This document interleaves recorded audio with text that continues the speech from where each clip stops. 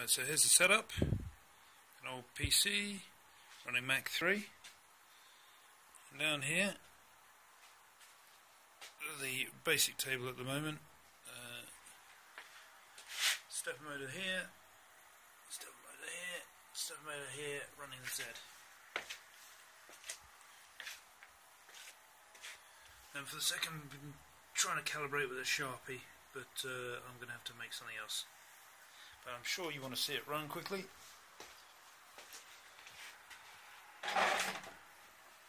So we just drove it off the cursor keys.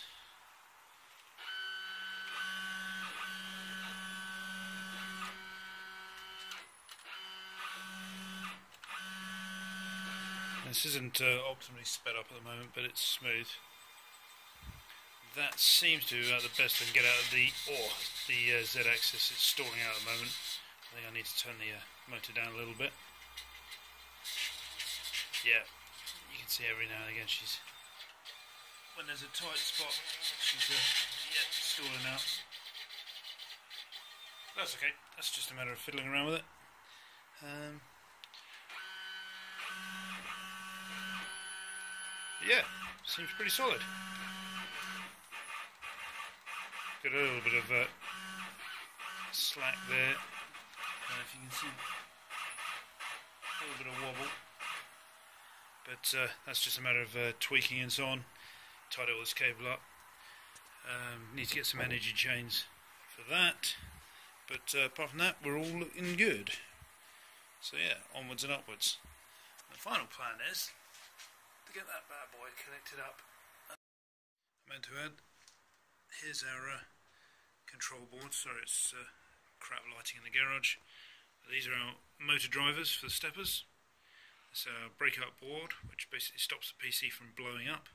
Uh, 5 volt power supply to run the breakout board, and then uh, this is just a 24 volt power supply there, which runs all the motors, so the steppers are running 24 volt. Um, and then a good old fashioned parallel port up to the old junker PC. So yeah.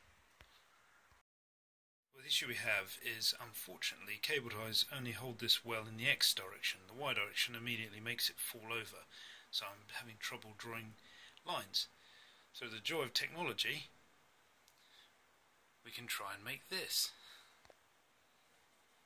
I'm very lucky in having access to my uh, Works CAD modelling system so something like this can be knocked up very quickly so the bolt hole patterns go there Sharpie obviously goes in there little marker to indicate direction that's pointing down. And then we can slip two cable ties through there to hopefully secure that in place. We shall see. But then the magic happens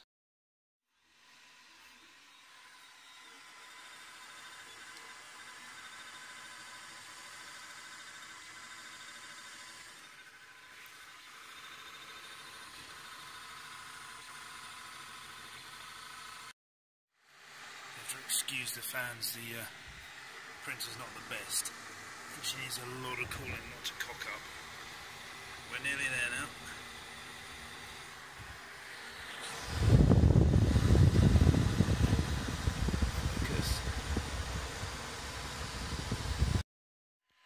There we go, finished product. looks like it's come out Proof is in the pudding. Oh, yeah. Oh. So obviously, some cable ties hold that in. So I'll give that a go tomorrow, but it's bedtime now because I am tired. Good night everyone.